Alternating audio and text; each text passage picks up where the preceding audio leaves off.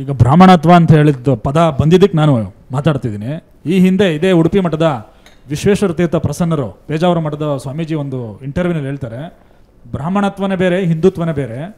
ಬ್ರಾಹ್ಮಣತ್ವ ಬ್ರಾಹ್ಮಣರಿಗಾಗಿ, ಅದು ಬ್ರಾಹ್ಮಣರಿಗೋಸ್ಕರ ಉಳಿಬೇಕು. ಹಿಂದುತ್ವ ಈ ಹಿಂದೂಗಳಿಗಾಗಿ ಹಿಂದೂಗೋಸ್ಕರ ಉಳಿಬೇಕು ಅಂತ.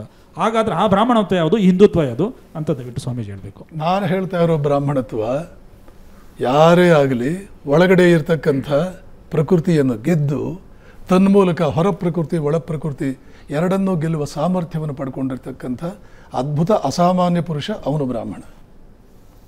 ಹೊರಗಡೆ ಪ್ರಪಂಚವನ್ನು ಗೆದ್ದವನು ಅಲೆಕ್ಸಾಂಡರ್, ನೆಪೋಲಿಯನ್. ಕೊನೆ ಕೊನೆ ಕಾಲದಲ್ಲಿ ಕಣ್ಣೀರಲ್ಲಿ ಕೈ ತೊಳೆದರು. ನೆಪೋಲಿಯನ್ ಆಟೋಬಯೋಗ್ರಫಿ ಓದಿದ್ರೆ ಕಣ್ಣೀರು ಹಾಕ್ಕೊಂಡು ಪಶ್ಚಾತ್ತಾಪ ಪಟ್ಟ. ಎಲ್ಲಿ ನಾವು ತಪ್ಪಿದ್ವಿ? ವಿಶ್ವಾಮಿತ್ರ ಪಶ್ಚಾತ್ತಾಪ ಪಟ್ಟ. ಯಯಾತಿ ಪಶ್ಚಾತ್ತಾಪ ಪಟ್ಟ. ಪ್ರಯೋಜನ ಇಲ್ಲ. ಯಾಕೆ ಅಂತಂದರೆ ಈ ಪ್ರಕ್, ಈ ಪ್ರಕೃತಿ ಯಾಕೆ ಈ ದೇಶವನ್ನು ಉಳಿಸಿದೆ? ಒಂದು ಆರ್ಡರ್ ಇದೆ ಒಂದು ಕರೆಕ್ಟಾಗಿ ಇದರ ಪ್ರಕಾರವೇ ಬದುಕಬೇಕಾಗಿದೆ. ಅದಕ್ಕೊಂದು ಎಕ್ಸಾಂಪಲ್ ಆಗಿ ಈ ದೇಶ ಉಳಿಬೇಕಾಗಿದೆ. ಹಾಗೆ ಒಳ ಪ್ರಕೃತಿಯನ್ನು ಗೆದ್ದು ತನ್ಮೂಲಕ ಹೊರ ಪ್ರಕೃತಿಯನ್ನು ಗೆಲ್ಲುವುದಕ್ಕೆ ಪ್ರಾಮಾಣಿಕ ಪ್ರಯತ್ನ ಮಾಡ್ತಾ ಯಾರು ಹೊರಟಿದ್ದಾನೆ? ಅವನು ಬ್ರಾಹ್ಮಣ. ಅವನು ಅಲ್ಲಿ ಎಲ್ಲಿ ಹುಟ್ಟಿದ? ಮಾಂಸಾಹಾರಿಯ ಸಸ್ಯಾಹಾರಿಯ ಇದ್ಯಾವುದೂ ಲೆಕ್ಕಕ್ಕೆ ಬರಲ್ಲ. ಅವನು ಬೇಕಾದರೆ ಆಫ್ರಿಕನ್ ಅಮೆರಿಕನ್ ಆಗಿರಬಹುದು. ತೊಂದರೆ ಇಲ್ಲ. ಈ ವರ್ಣಾಶ್ರಮ ಭಾರತೀಯನಾಗಿರಬೇಕು ಅನ್ನೋದು ಅದೇ ಎಂಥದ್ದು ಇಲ್ಲ. ಭಾರತೀಯ ಸಂಸ್ಕೃತಿ ಪ್ರಕಾರ ಇಡೀ ಪ್ರಪಂಚವನ್ನು ಅದು ದೇಶಗಳಾಗಿ ವಿಭಜನೆ ಮಾಡಲೇ ಇಲ್ಲ. ವರ್ಣಗಳಾಗೆ ವಿಭಜನೆ ಮಾಡಿದ್ದದು.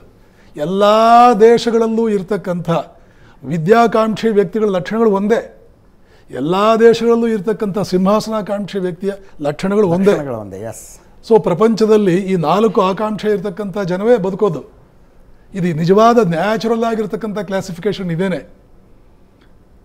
ಹೀಗಾಗಿ ಪ್ರ ಪ್ರ ನೂರಕ್ಕೆ ನೂರು ಸತ್ಯವನ್ನು ಆಧರಿಸಿಯೇ ಈ ದೇಶದಲ್ಲಿ ವ್ಯವಸ್ಥೆಗಳಾಗಿದ್ದು ಅವರು ಯಾವುದೋ ಯಾವ ಕಾರಣಕ್ಕೋಸ್ಕರ ಹೇಳಿದರು ಅದು ಯಾ ಅದು ಎಲ್ಲೂ ಕೂಡ ಪ್ರಸ್ಥಾನತ್ರಯಗಳ ಉಪನಿಷತ್ತುಗಳ ಆಧಾರ ಅಲ್ಲಿ ಸಿಗಲ್ಲ. ಸಮೀಜ್ ಹಾಗಾದ್ರೆ ಅದು ಒಪ್ತೀರಾ ಒಪ್ಪಲ್ವಾ? ಯಾವುದನ್ನ? ನಾನು ಏನು ಹೇಳ್ಕೊ ಹೇಳಿದ್ದೀನಲ್ಲ? ಅದನ್ನು ಒಪ್ಪಲ್ಲ ನಾನು.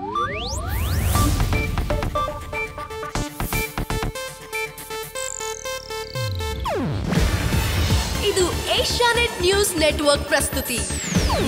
ನೀವು ನೋಡ್ತಿದ್ದೀರಾ ಏಷ್ಯಾ ನೆಟ್ ಸುವರ್ಣ ನ್ಯೂಸ್.